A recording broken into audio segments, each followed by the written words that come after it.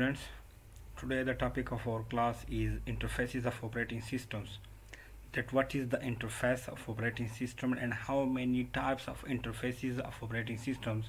In a previous class we, already have discussed about the types of operating system that how many types of operating system and what is operating system.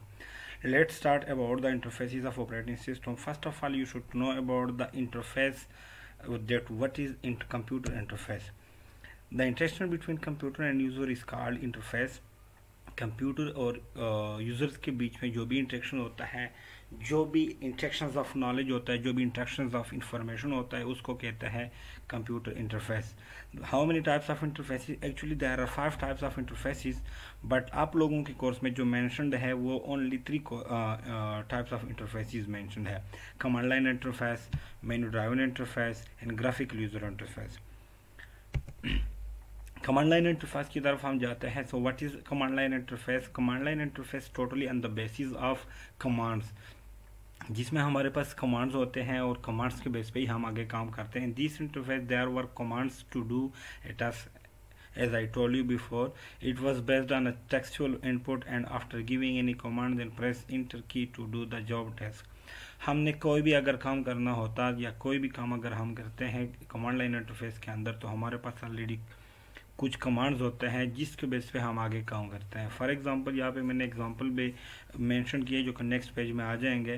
For example हम किसी directory को change करते हैं तो वहाँ पे हम लिखेंगे चेंज डायरेक्टरी की जगह हम लिखेंगे सी डी सी डी लिखने के बाद वो ऑटोमेटिकली वो समझ जाएँगे ऑपरेटिंग सिस्टम उसको रिकोगनाइज करेंगे कि ये जो यूज़र कमांड इंटर कर रहा है सी इसका मतलब होता है चेंज डायरेक्टरी और इसके और ये और ये इंटरफेस कमांड लाइन इंटरफेस के जो ऑपरेटिंग सिस्टम्स है, वो है कौन कौन से? They are two operating systems commonly used in a command line interface disk operating system and Unix operating system जो है यूनिक्स हम नेक्स्ट पेज पे पढ़ेंगे। This is the most popular operating system which will display the promote. See, this is the command. हम जब भी command inter करेंगे, यहाँ इस तरह से स्टार्ट करेंगे। C colon backslash and greater than ठीक है? DOS command disk operating system commands are difficult to remember लेकिन इसके कुछ प्रॉब्लम है। वो प्रॉब्लम यह है कि कमांड समटाइम यह है कि यूज़र भूल जाता है और इसको हमने याद रखना होता है। और इसके अलावा एक मसला इसका यह भी है कि वह single user and single tasking operating system है और इस ऑपरेटिंग सिस्टम को सिर्फ़ और सिर्फ़ एक ही user at the same time एक ही काम कर सकते हैं और एक यूज़र इसको यूज़ कर सकता है। इसके अलावा must user must know the syntax of the command user को नॉलेज होना चाहिए सेंटेक्स ऑफ़ द कमांड्स के कमांड्स को हमने किस तरह ऐड करना है, किस तरह हमने कमांड्स देने हैं। कमांड इंटरफेस के कुछ एग्जांपल्स मैंने यहाँ पे दी हुई है। Dir is used to display the contents of the current directory or folder. किसी भी डायरेक्टरी या किसी भी फोल्डर का जब आपने डायरेक्टरी फाइंड आउट करनी है तो आपने क्या करना है? जस्ट लिखना है I R is the short form of directory जिसके बेस पे आपकी डायरेक्टरी फाइंड हो जाएगी। इसके अलावा इसके अलावा अगर आपने किसी ड्राइव को फॉर्मेट करना है तो आपने सिर्फ़ उस ड्राइव से पहले फॉर्मेट की वर्ड लिखना है in a capital word and then आपने उसी ड्राइव का नाम लिखना है जिस तरह मैंने यहाँ पे मेंशन किया है फॉर्मेट डी कॉलन इसका मतलब यह है कि मैं डी ड्राइव को फॉर्मेट करना चाहता हूँ।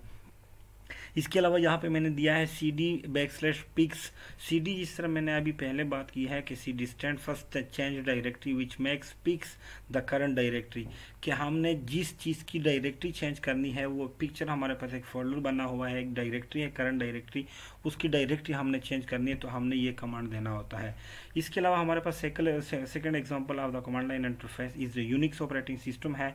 Unix operating system is also a type of command line interface in which we have too many command and enter the commands to do any task हमने कोई भी काम अगर करना है तो हम कमांड्स के बेस पे करेंगे। अच्छा यूनिक्स ऑपरेटिंग सिस्टम जो है, वो कब इन्वेंट हुई है? ये 1969 में इन्वेंट हुई है और इसमें प्लस पॉइंट ये है कि ये multiple user at the same time इसके अंदर काम कर सकता है और मल्टीपल काम कर सकता है।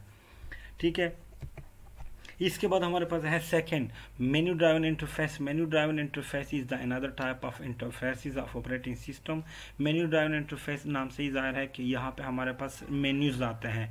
लाइक like हमने एक एक चीज़ इंटर करनी है तो कोई भी चीज़ अगर हमने इंटर करनी है तो वहाँ पे हमने क्लिक करना है या एक वो चीज़ इंटर करनी है। तो इंटर करने के बाद हमारे पास एक ड्रॉप डाउन मेन्यू आ जाएगा। उस मेन्यू में आगे ना हमारे पास मल्टीपल ऑप्शन होंगे। उसी ऑप्शन में से हमने किसी एक ऑप्शन को सिलेक्ट करना है। जैसे हम उस ऑप्शन को सिलेक्ट करेंगे अगेन एक और मेन्यू आ जाएगा। और इस तरह ये सिलसिला हमारे पास आता रहेगा और सबसे एंड के एंड में हमने हमारा पास हमारे काम जो कंप्लीट हो जाए, उसके बाद हमने क्या करना होता है? एग्जिट पे जाके उस मेन्यू को एग्जिट करना होता है। जहाँ पे मैंने डिफिनेशन इसके लिए की है this interface presents a menu on the screen user makes a choice, and then the next menu appears. जिस तरह मैंने अभी बात की कि एक ऑप्शन हमने सिलेक्ट करना होता है सिलेक्ट करने के बाद एक और मेन्यू आ जाता है. The user makes another choice and so on और ये सिलसिला जाता रहता है, ठीक है? This type of interface is called menu driven interface इसकी एग्जांपल हमारे पास क्या है?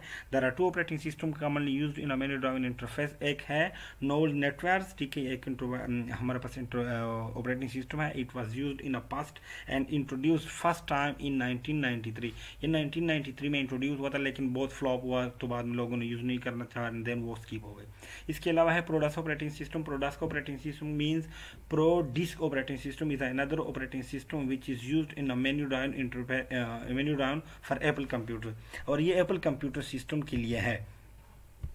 इसके बाद हमारे पास आता है third interface of the operating system graphic user interface जो कि आजकल बहुत ज़्यादा इंपॉर्टेंट है, बहुत ज़्यादा इसका यूज़ है। लाइक जितनी भी विंडोज़ ऑपरेटिंग सिस्टम हमारे पास है Windows seven Windows eight window ten window nineteen ninety five window two thousand two thousand window two thousand one two thousand three जितने भी हमारे पास ऑपरेटिंग सिस्टम है, जहाँ पे विजुअल वे ऑफ़ इंट्रैक्शन होता है हमारे पास।